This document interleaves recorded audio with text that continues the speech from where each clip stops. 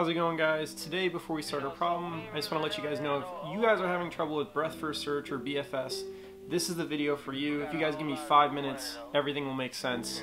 You will never misunderstand BFS again. So with that being said, let's get into our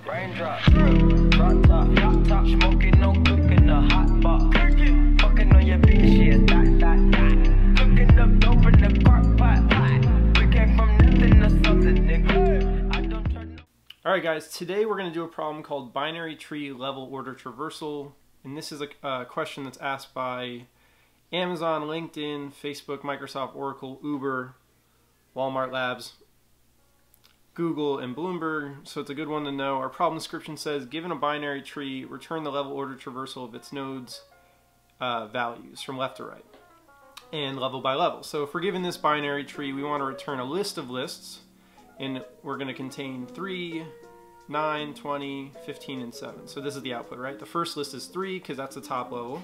The next list is 9, 20 because that's the second level. And the third and final list is 15, 7 because that's the third level. So what we want to do is first we want to declare a return value, right? So we're going to have a list of lists of integers. We're going to call this result and this will be a new array list. And now we're just going to do simple error checking. So if we don't have a root, we have no processing to do. So if our root is null, we're going to return our results. And otherwise, we have some kind of processing to do, right?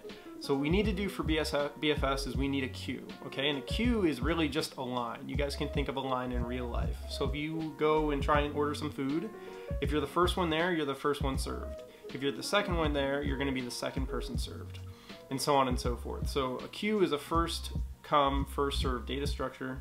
So let's make a queue, and it's gonna hold our tree nodes that we need to process. So we'll say queue tree node, queue equals new linked list,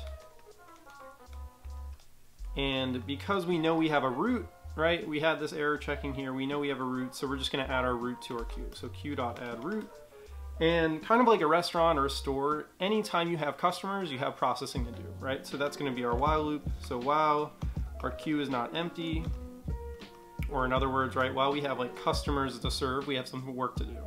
So the first thing that we want to do is we want to get the size of our queue, right? So how many different nodes in the current level do we have to process? So the very first iteration, we're only going to have one node, right? Because it's going to be the root.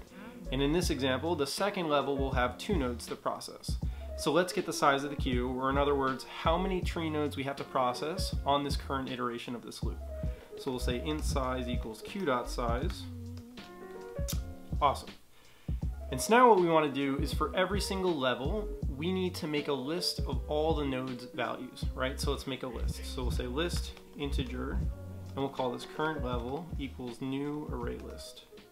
And so this will hold all the nodes values that we need to process.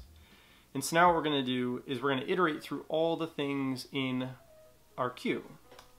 So we know the size of the queue, right? How many nodes we have to process. So we'll have a for loop for in i equals zero, while i is less than size, i plus plus. And now what we want to do next is we just want to get the current node that we need to process. So we'll say tree node current equals q dot remove.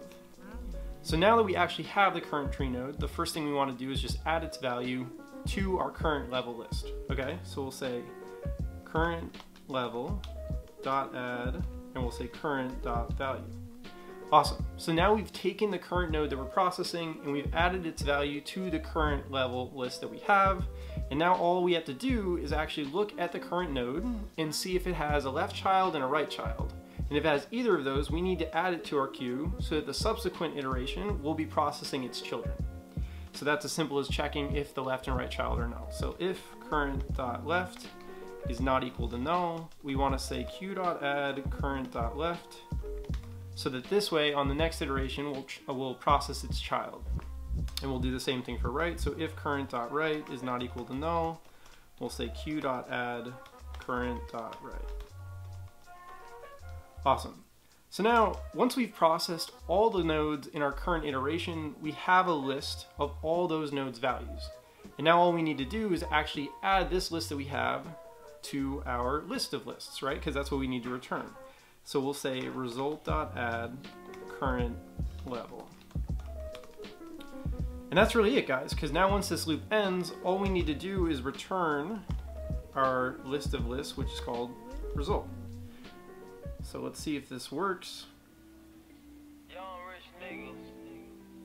Awesome, and it does. So guys, this is a basic template that you could use to solve the majority of uh, breadth first search problems. I hope this is helpful, I hope it made sense. If it was, do me a favor, give this video a like and subscribe to the channel for more, and I'll see you guys next time. Raindrop.